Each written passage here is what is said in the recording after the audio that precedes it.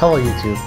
Uh, in this section I'm going to uh, talk about how to set up the excitation for the problem that we have and continue on uh, the modeling for uh, making ready making it ready for the simulation. Um, one thing we want to do is we want to uh, have some terminals uh, to excite the coils that we have here. Um, so to do that as you remember from the previous sections, we just deleted all the eight um, coils of the poles and uh, now we are going to set up one and then copy paste uh, around this object so make it faster and easier. So select the coil A and then go to the model and then surface and then section and then section and we want to have a section that is um, uh, basically uh, parallel with the XY plane. So I'm selecting the XY plane and then I press OK for that. So now I have two objects of this um, coil A selected. I'm gonna go and um, select the section 1 and uh, first of all um, I'm gonna change it to terminal um, underline A1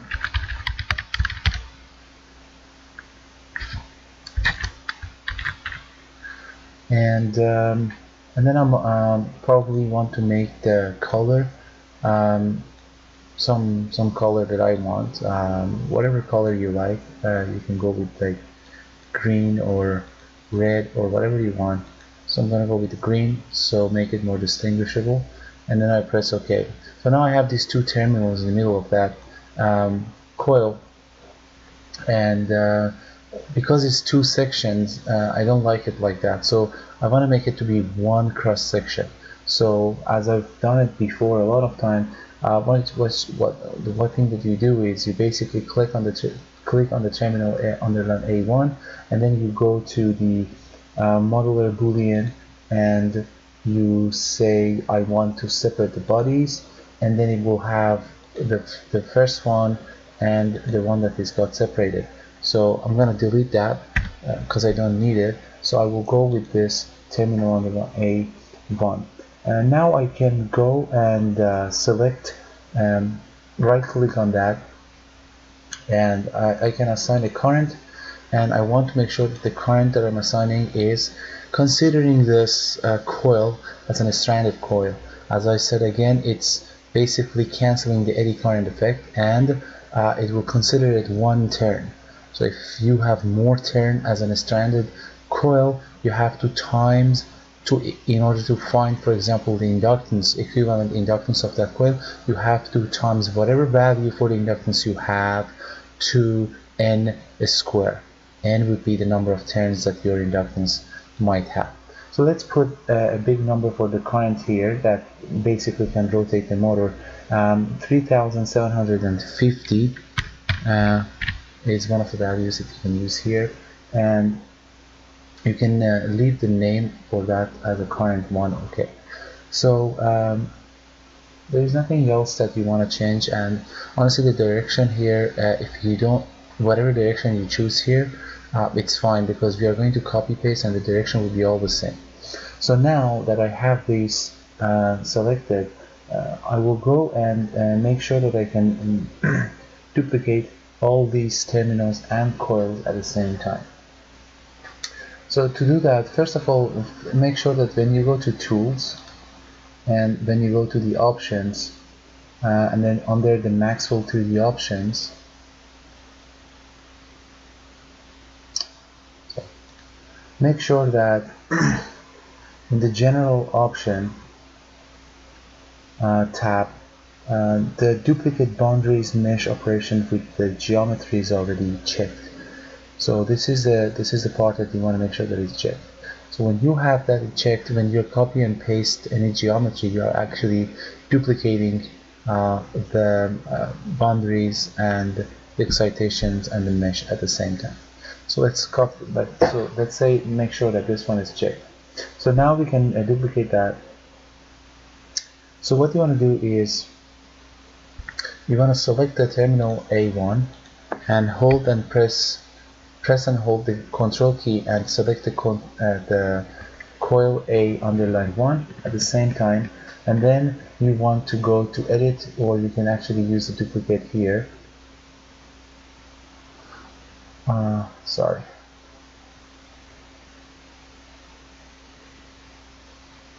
There we go. Duplicate along the line.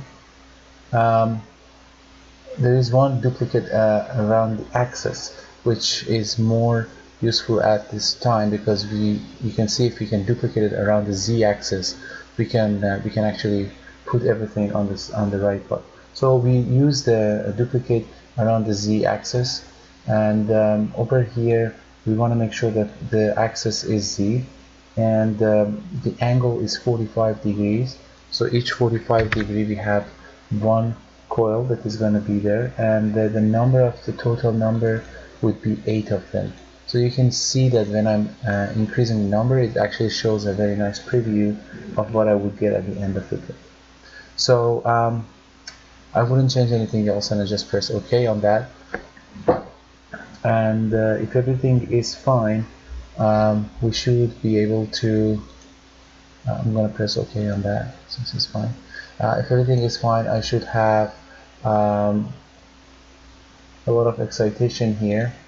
Current 1 to current 8 it's all excitations at the same side.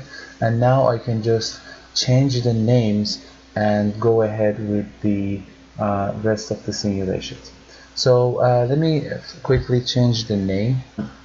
Put the names like uh, coil A underline 1 coil B underline 1 C underline 1 D underline 1 and then A underline 2 which is uh, in front of the A underline 1 if you can see here. And then a on b underline 2 c underline 2 and d underline 2 so these are the one that are in front of each other is going to be um, basically uh, the same uh, letter. So uh, to do that you just double click on that and change the name so let's say the first one is going to be b underline 1 the second one is going to be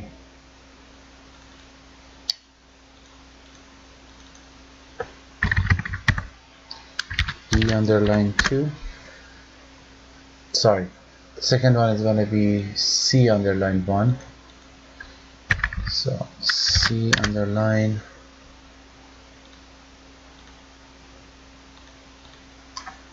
underline 1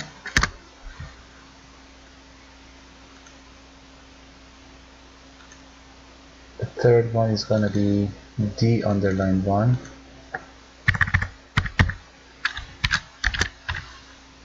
and after that we would have a underline 2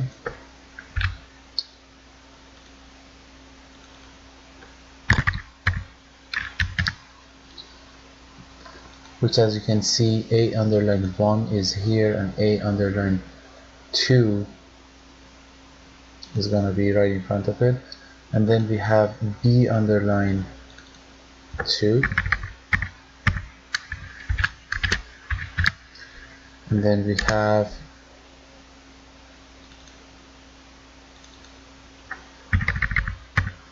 C underline 2 and then finally we would have D underline 2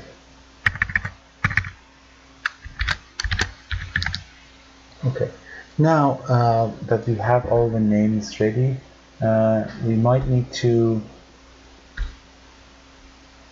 change the terminals at the same time uh, to uh, appropriate names.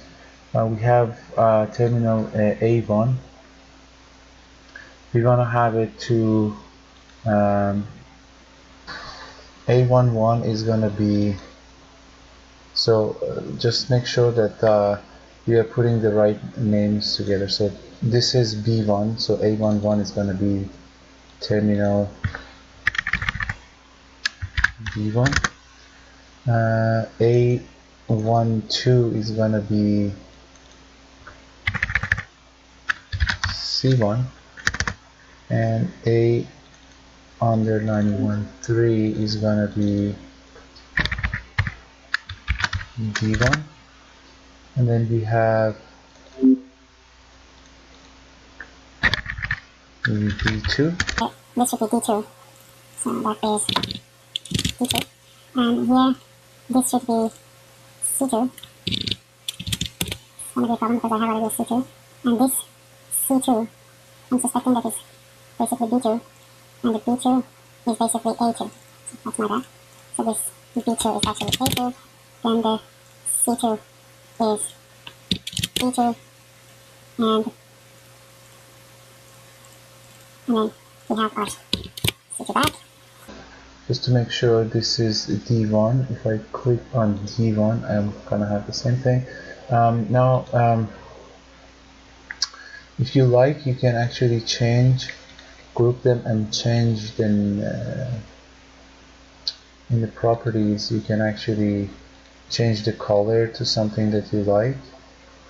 Um, let's say reddish and uh, so you have this reddish color for this fellow here and for C you have probably yellowish color yes and so we have this yellowish color for that and for B we have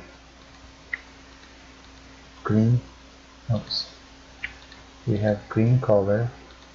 So here we can give it like a kind of a nice green color. And for A whatever color we have we can be happy for that.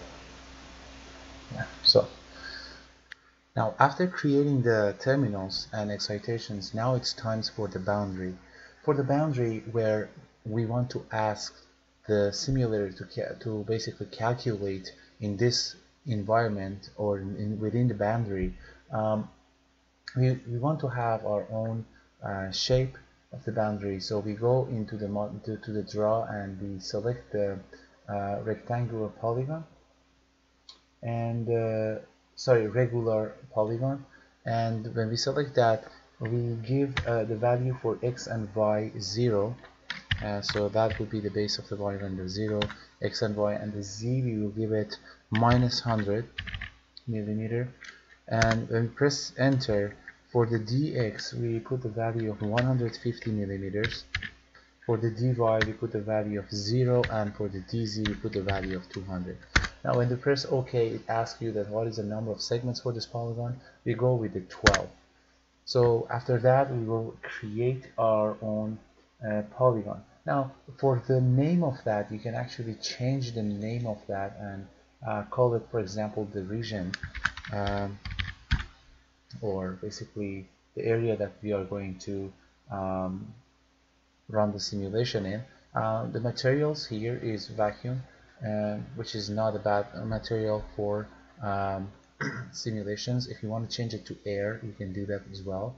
Um, and make sure that the, the the way that you're displaying uh, you can either put it on very uh, high uh, value for the transparency uh, so you can see the inside or you can say you know what? I just want to see that as a uh, wave wireframe. In that case if the, the polygons and the faces of that region is not going to bother you looking inside into your model that you designed so I'm gonna go with the display as a waveform and as soon as I click outside you can see that it's almost like a ghost. You cannot see this region anymore. Okay.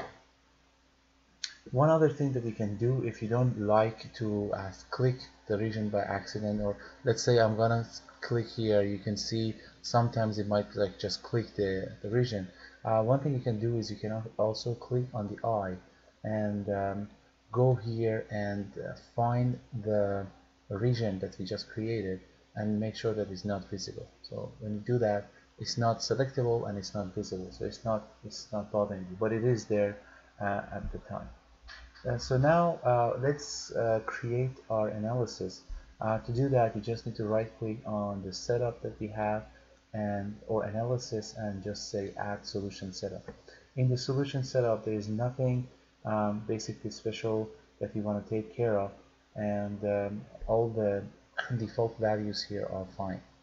Um, I can go through the default values here so you can uh, compare that with what you have in your uh, system.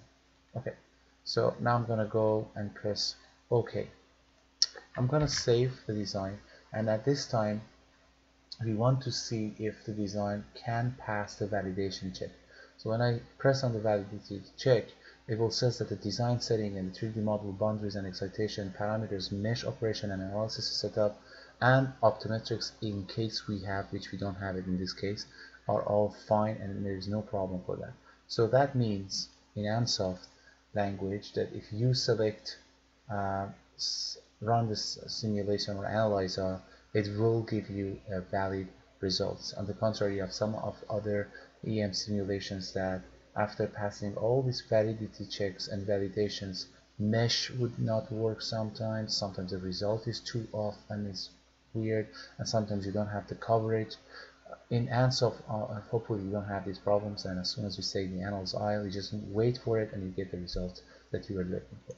Okay that uh, concludes our uh, boundary and excitations. uh, tutorial for this problem and also uh, we are going to interpret the uh, analysis and the results and talk about how we can use the calculator to calculate the currents that is going through the each coil. Hopefully we should get the same amount of 3750 after we calculate the current. Thanks for watching and let, let me know if you have any comments and you can subscribe to this channel and I'm trying to pre periodically add more um, videos to that. So um, hopefully um, you can find the problems that you were looking for later on if you are not finding it now